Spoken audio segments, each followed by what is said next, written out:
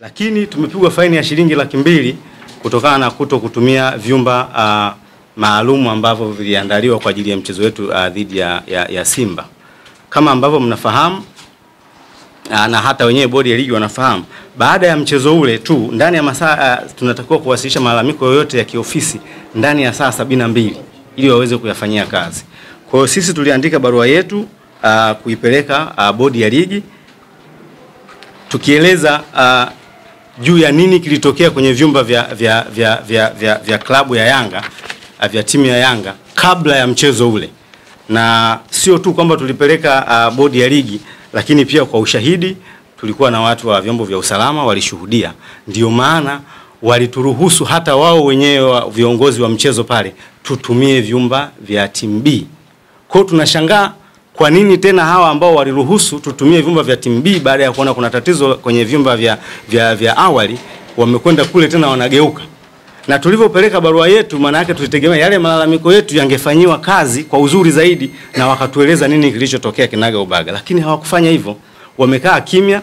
Barua yetu ya malalamiko kwamba vyumba vyetu havikuwa sawa sawa, badala ya kutake action, wao wamekuja kutu, kutupiga fine. Kwa hiyo tunaona kwamba si haki ambayo uh, wameifanya uh, hii kamati na bodi ya ligi kwa ujumla, kwa sababu watakuwa wajiridhishe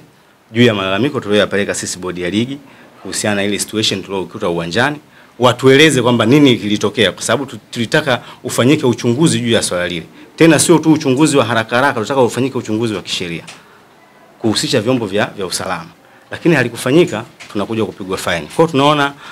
hawakututendea haki katika hili na tumeomba Uh, tumewaandikia malalamiko yetu juu ya hiyo faini ya shilingi uh, laki kwanza hawakutuita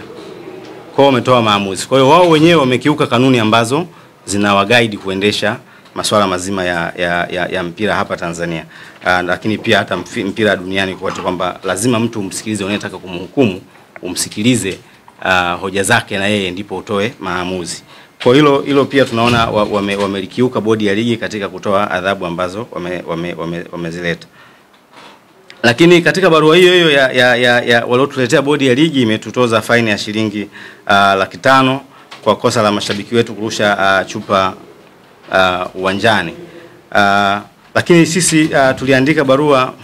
muda mrefu sana bodi ya ligi kulalamikia baadhi ya vitu uh, lakini mpaka matukio haya yanatokea, hizo barua zilikuwa hazina majibu yoyote. Kwa hiyo matukio kama haya yanatokea ni reaction ya kuto kuchukua hatua za yale ya awali ambayo sisi uh, kama klabu tulikuwa tunayalalamikia, ili wao bodi ya ligi wangeweza kurekebisha na kuchukua caution mapema kabla hayajatokea.